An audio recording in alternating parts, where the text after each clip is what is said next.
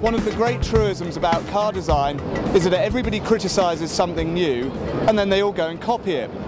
That's the case with the Mercedes F800 style. Everybody said how awful Chris Bangle's flame surfacing and swoops and curves and everything else was, and lo and behold, you have a car like the F800 concept behind me. There's a lot of interesting features about the F800. It shows how Mercedes is going with hybrid powertrains.